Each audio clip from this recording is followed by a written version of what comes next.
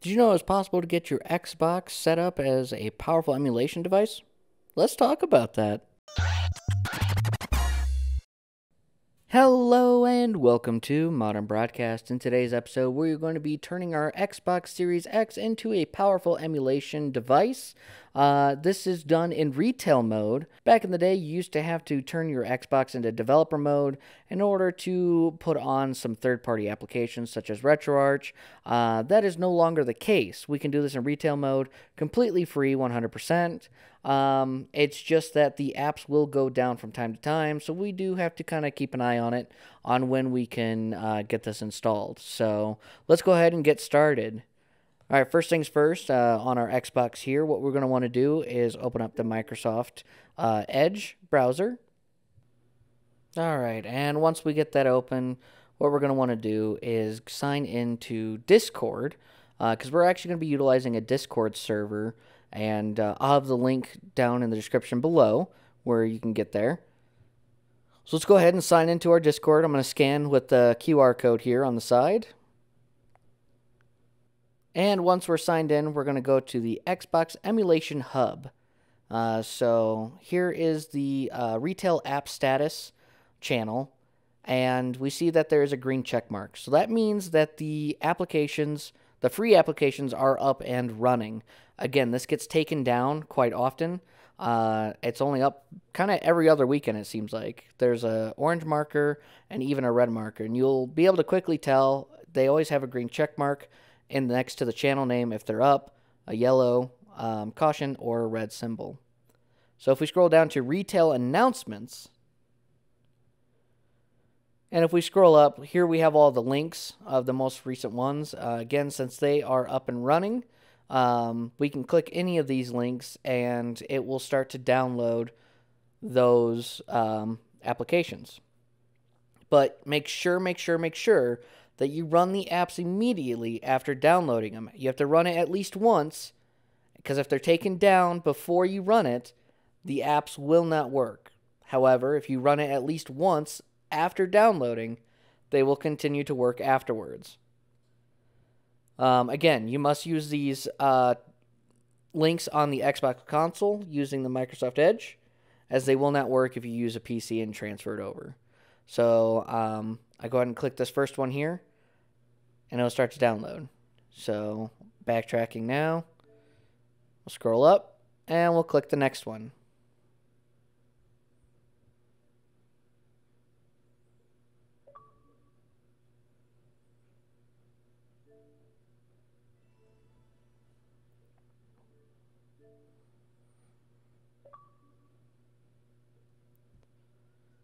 And we'll quickly just do this for each one.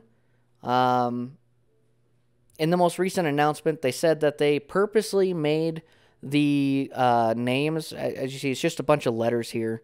Um, they did that on purpose. And that was to hopefully allow the applications to be up longer, I think. I'm not entirely sure. So I'm going to go ahead and download the rest of these um, that I'm going to be utilizing. And we'll be back here in a minute. Alright, so here we are. Uh, so some of them are still downloading in the background, but we're going to go ahead and open up the Dolphin emulator. And uh, all I'm doing is I'm just opening up each of these uh, and then closing them down right away. There's nothing installed yet, uh, but we have to at least open them once in order for them to continue working after they get taken down from the store. So um, just going to finish that out real quick.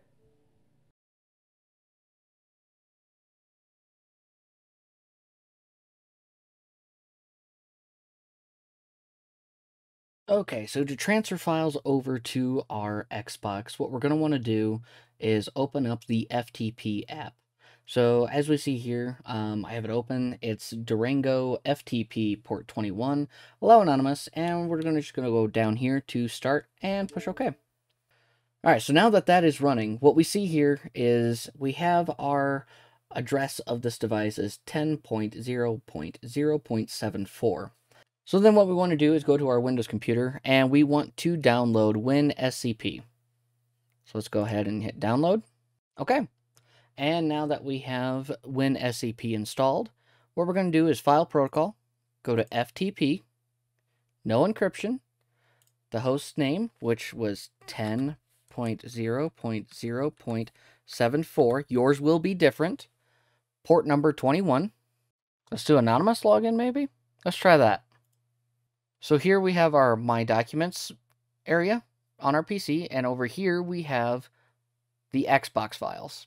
Okay, so I went ahead and plugged in my external hard drive that has all of my game files on it. And what I'm going to do is I'm going to open up the U folder on the Xbox, go to Users, and I made a folder called Games. I'm going to open that up.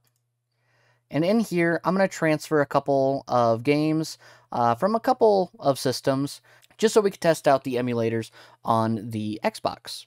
Okay. Now that we got everything transferred over, we can stop that and go back. And let's go ahead and scroll down to Dreamcast here. So what we want to do is go up to the top here and click on Settings. And then we're going to scroll on down. And it looks like what we actually want to do is put stuff in the Q folder uh, instead of U. So let's go ahead and change this. We're going to go to Add. Go up. Oh, hang on. Wait, there we go. Up Parent Directory. And keep doing that. Until we can select Users, Games, and then DC because that's the Dreamcast. And we have Marvel vs. Capcom 2. Gonna go down to the bottom and select current directory. And we see here we have our Marvel vs. Capcom 2. Let's go ahead and see if it loads. And here we have it. I mean, this is working flawlessly. Let's go ahead and uh, enter arcade mode. All right, and here we go.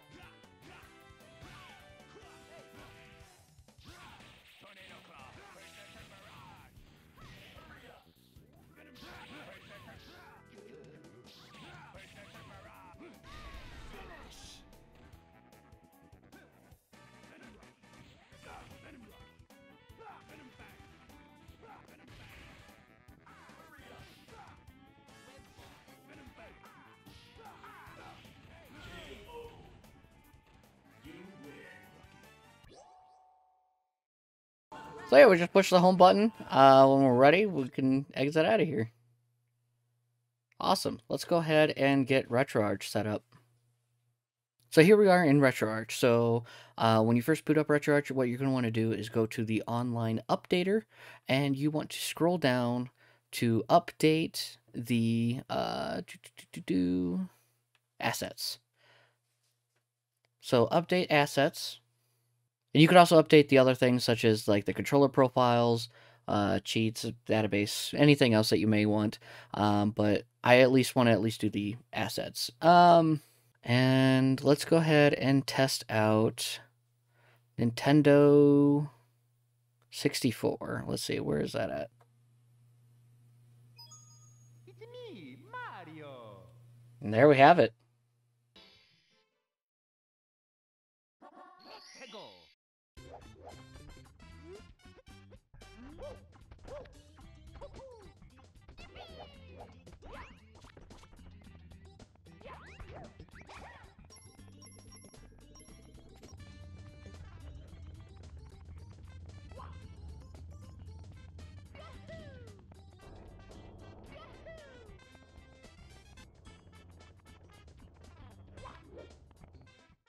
What?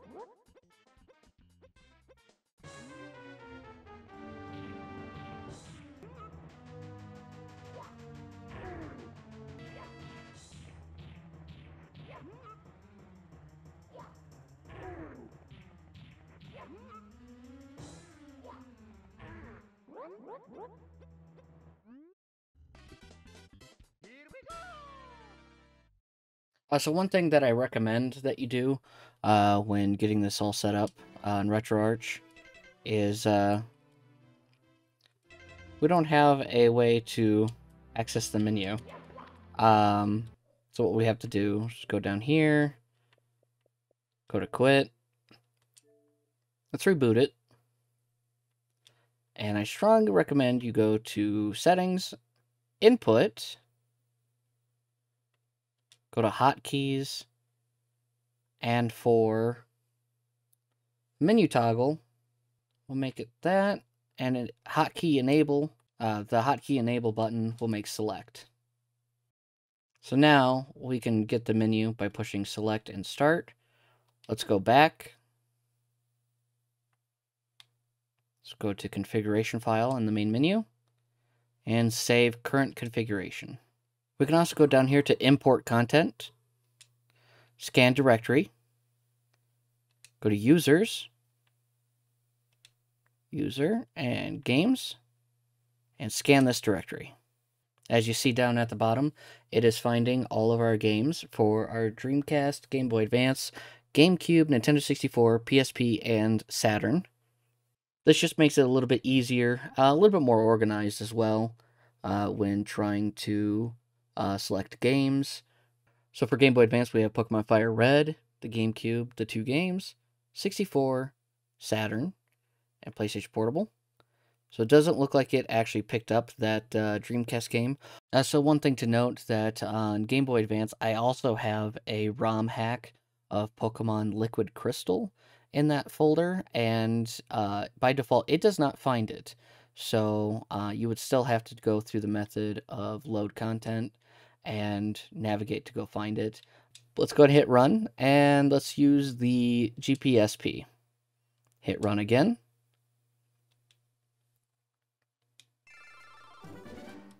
And there we have it. We're playing Pokemon.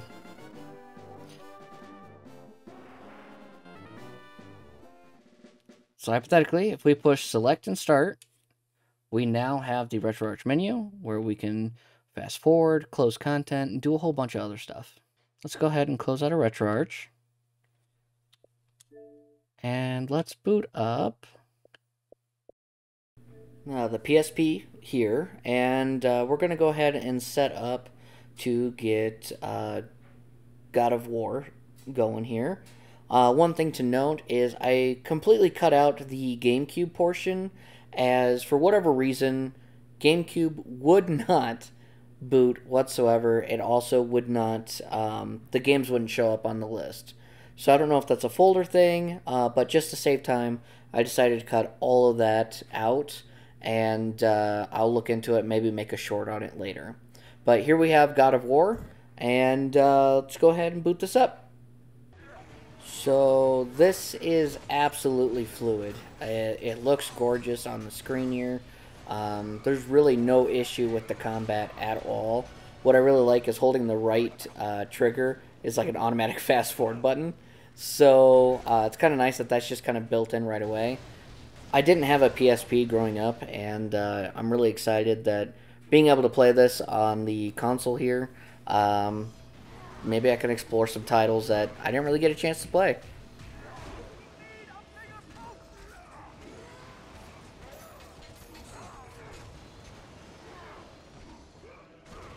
Thank you so much for watching. If you enjoyed this video, please consider leaving a like and subscribe. It's been a few weeks since I initially recorded this video. However, the retail app status is a green check mark. So go ahead, go join the Xbox Emulation Hub Discord and get your applications all set.